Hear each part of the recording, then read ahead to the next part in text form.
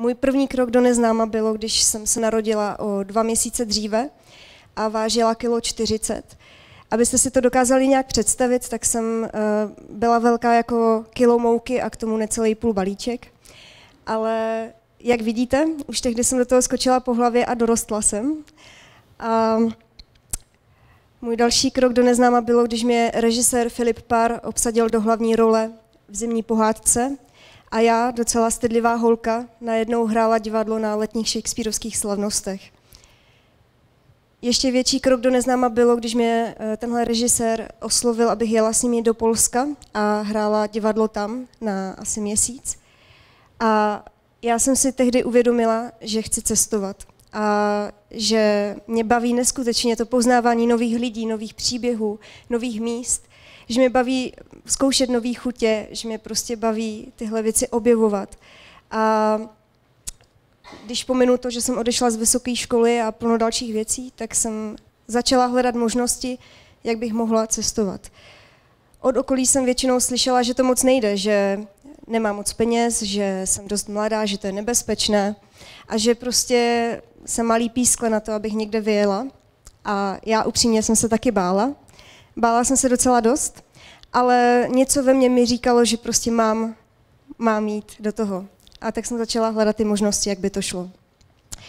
A odjela jsem úplně s neznámými lidmi přes Erasmus Plus do Poroninu a následně do Anglie. Do toho Poroninu jsme jeli takovou dodávkou, která vypadala, že se rozpadne. A už tehdy mi došlo, že to bude docela punk a dobrodružství. V Anglii jsem poznala velice zajímavé lidi a tohle je sprcha, která házela elektrické šoky. Takže to bylo moje nejrychlejší sprchování v životě. A vlastně mi začalo docházet, že tyhle všechny věci jsou strašně dobré zkušenosti a že mě to vlastně posouvá, že nepotřebuji vždycky nutně mít tolik toho komfortu. Že se možná můžu zbalit do malý krosny a ne do velkého kufru. A velký krok do neznáma bylo taky to, když jsem se přestěhovala do Prahy. Já jsem holka z hor, z Beskyt, z vesnice a najednou jsem si prostě řekla, já chci do Prahy, protože mě baví umění a tady je více příležitostí. A chci hrát, chci cestovat a chci objevovat. A založila jsem taky blog Lenny on the Road, kde jsem chtěla nejenom ty zážitky z cest, ale i různé zážitky ze života sdílet. Kde jsem chtěla psát o tom, jak třeba natáčím film, kde jsem chtěla psát o tom, na kterýho kluka se usměju v tramvaji, a zároveň, když jsem šla do Prahy, tak jsem vůbec nevěděla, co tady budu dělat. Pro mě to byl velký krok, pro někoho je to možná jako malý krok, ale pro mě to byl velký krok v tom, že jsem prostě šla. Opět jsem cítila, že mám jít a neměla jsem tady jistou práci, nevěděla jsem, kde budu bydlet, ale pak mi vyšla práce v jedné z nejúspěšnějších firm v České republice a sice v Seznamu, kde nás na pohovoru bylo asi 400 a nechápu, jak se to stalo, ale vybrali mě.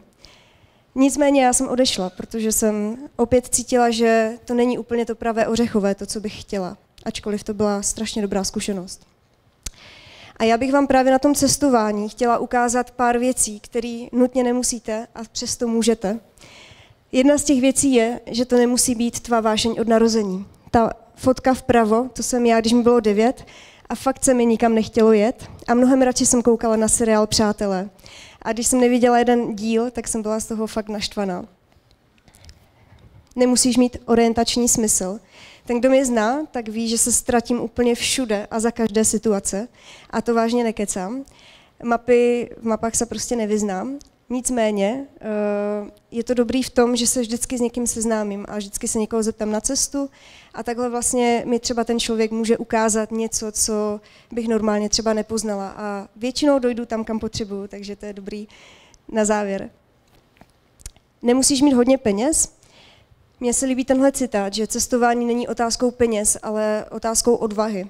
A mně se to líbí z toho důvodu, že když jsem začínala cestovat a celkově vlastně pořád, nemám nějaký balík peněz, ale myslím si, že to člověka nemusí limitovat v tom, aby měl ty zážitky, aby cestoval. A ukážu to pak na různých příkladech. No a s tím se právě pojí to, že občas stopuju, občas eh, bydlím přes Couchsurfing, nevím, jestli to znáte, ale je to taková platforma, kde vlastně lidi sdílejí svůj gauč a vy jim povídáte své příběhy z cest a uvaříte si třeba večeři. Mám to strašně ráda, protože poznáváte tu zemi opravdu takovou, jaká je. Poznáváte ji skrz ty lidi. A nenabádám k tomu, abyste stopovali, nenabádám ani k tomu, abyste cestovali, protože to není pro každýho. Ale chtěla bych vám na jednom zážitku tady ukázat to, že nemusíte jenom díky penězům vracet to, co se vám dostává. Tohle byl můj jeden z prvních stopů, jak jsem říkala, v Holandsku. Dovedla mi k tomu situace. Já jsem neměla moc peněz eh, na dopravu a tam je to docela drahý. A tak jsme se rozhodli v sobotu, že dostupujeme z Rotterdamu do Amsterdamu eh, na párty. Stalo se tak a my jsme si to moc neužili, protože jsme ani nevěděli, kde budeme spát, takže eh, jsme celou noc nespali a vlastně ten další den jsme se potřebovali dostat zpátky. Bylo ráno, všichni se teprve vraceli z té párty a bylo jasný, že stopovat ve městě, ještě navíc jako v centru a v pět ráno v neděli, není úplně dobrý nápad, nebo respektive je to docela těžký jako někoho stopnout. Ale já jsem si stála za tím, že někoho stopnu a ono se tak stalo, stopili jsme tady toho pána, což je ředitel strašně obrovský jako uh, společnosti. A i když to neměl v plánu, tak nás hodil až před barák do toho Rotterdamu. A mně přišlo jako neskutečný, že to pro nás udělal. A já jsem mu chtěla něco dát, ale nic jsem u sebe pořádně neměla, jenom tyhle oříšky. A zeptala jsem se na konci, máš rád oříšky? A on řekl, no mám rád oříšky, proč se mi ptáš? A já jsem řekla, no protože to je jediný, co mám a chtěla bych ti je dát. Tak se začal smát, vzal si je a za měsíc mi volal, že sedí v autě, pojídá ty oříšky a že se na nás vzpomněl a na to, co jsme si povídali a že to bylo pro něho strašně hezký seznámení. Tím jsem chtěla říct, že to opravdu není vždycky jenom o těch penězích. Často mi lidi říkají, že nemají s kým cestovat a i já jsem nevěděla, s kým budu cestovat, protože hodně lidí chtělo, ale když šlo do tuhýho, tak třeba nešli nakonec do toho. A já jsem vám chtěla říct, že nemusíte mít parťáka na cestu. Můžete prostě aktivně hledat na různých stránkách, dneska je toho spousta. A já jsem třeba tady Janču našla na cestovatelský seznamce a zažili jsme spolu úplně krásnou cestu do Portugalska, kde se pojí další příběh, že nemusíte mít všechno úplně naplánovaný, protože uh, my jsme v tom Portugalsku nikdy nevěděli, kde budeme spát a vždycky jsme uh, obepisovali nějaký couchsurfing, a jeden večer, už opravdu bylo docela pozdě a pořád jsme nevěděli, kde budeme spát, ale bylo nám to tak trošku jako jedno. Už jsme byli hodně unavené a tak nějak prostě jsme to tak měli jako hozený. Nicméně jsme zkusili tuhle cedulku, že nemáme kde spát a kdyby nás někdo ubytoval, že by byl úžasný. E, myslíte, že to vyšlo? Nevyšlo. Nevyšlo to. Každopádně jsme si vzpomněli na uh, jednoho právě couchsurfera, který nás seznámil s dalšíma lidma a napsali jsme mu, jestli náhodou o něčem neví. A on nám řekl, hele, my máme jenom koberec, nemáme jako gauč, nemáme prostě místo, ale jestli vám stačí koberec, tak pojďte jako k nám na koberec. A my úplně, jo, super, nejsme bezdomovkyně, super. Takže jsme šli na koberec a vyklubalo se z toho neskutečný, neskutečně krásný přátelství a byli jsme tam ještě asi další týden. Takže tím chci říct, je dobrý si zjišťovat nějaké informace, je dobrý mít trošku nějaký plán, ale opět nechte se občas překvapit. Občas prostě je dobrý uh, do toho jít. Samozřejmě my jsme měli i nějakou zálohu, že kdyby to nevyšlo, tak třeba si zaplatíme ten hostel, anebo budeme spát třeba pod čirákem.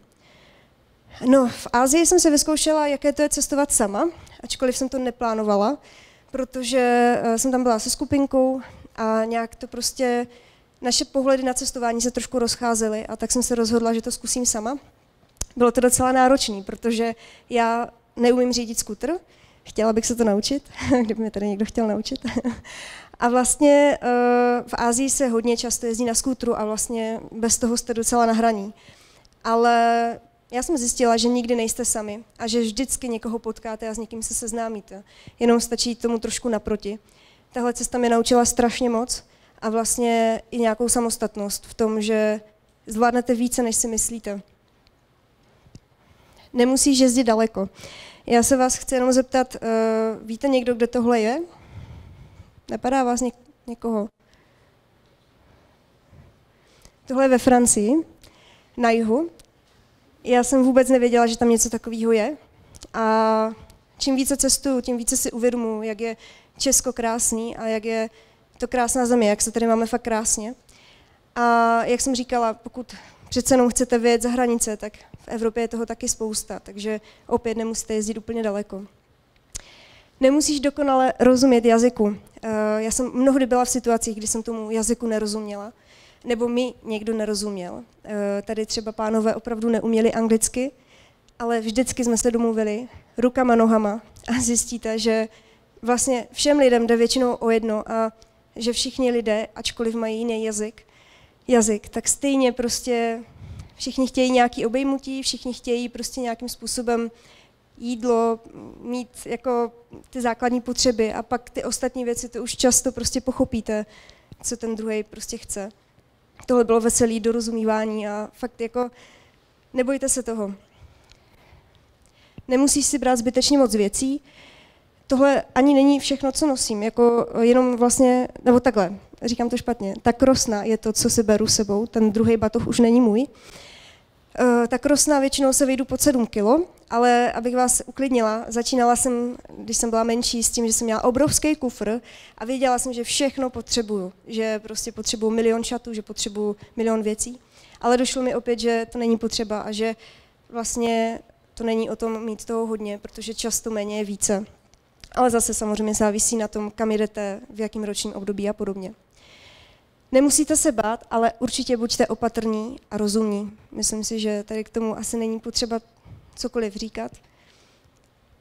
Hledejte příležitosti a buďte otevření.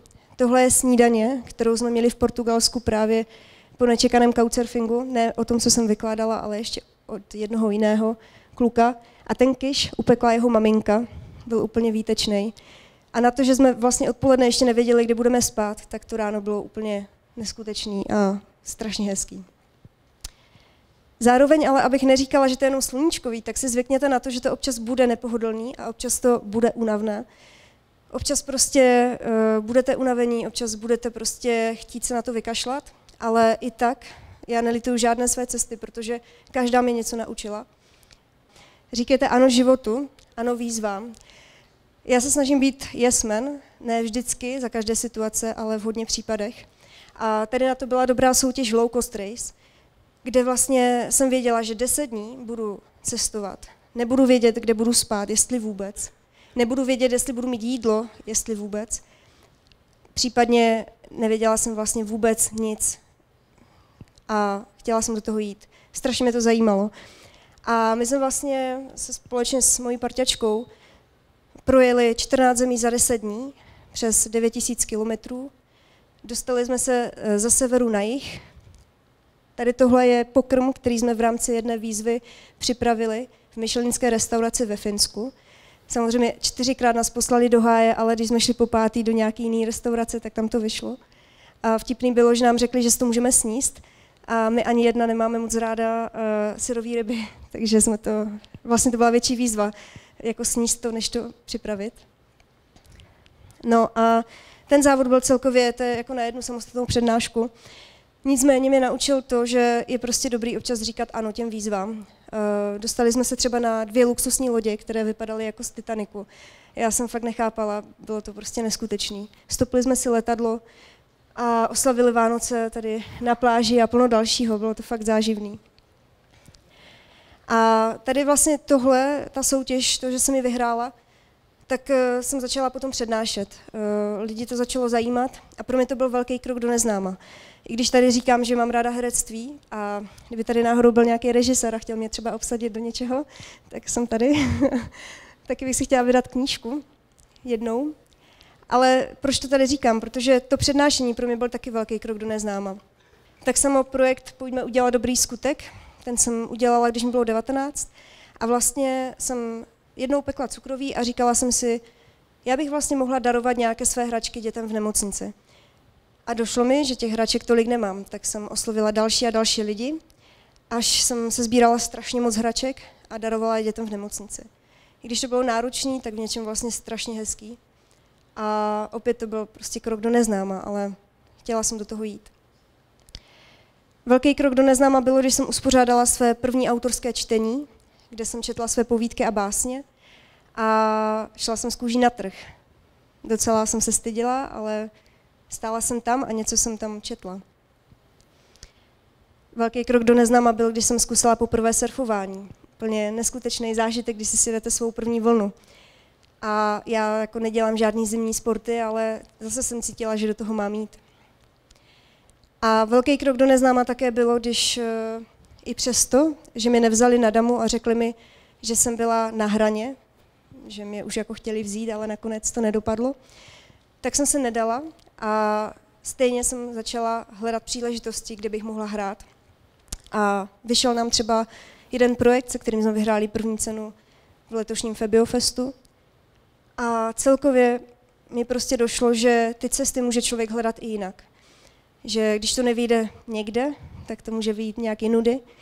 A i když mě na tu damu nevzali, tak já jsem tam stejně začala chodit na jeden předmět, dialogické jednání, kde si povídáte sami se sebou a je to těžké na vysvětlení, ale učili nás tam, abychom byli na sebe kámoš. A mně došlo, že všechny tyhle cesty, které jsem absolvovala, a doufám, že ještě nějaký absolvuju, všechny tyhle kroky do neznáma, ať už to bylo, když jsem se narodila o dva měsíce dřív a byla fakt malá, ať už to bylo třeba něco s tím herectvím, že jsem odjela hrát divadlo do Polska, nebo že jsem prostě stopla letadlo a lodě a jiné prostředky. Všechny tyhle kroky byly o tom, že jsem musela být sama sobě parťákem. Já jsem musela v sobě najít tu odvahu, musela jsem si říct, hele Léňo, ty to zvládneš, prostě běž do toho. Protože nikdo to za vás tohle neudělá.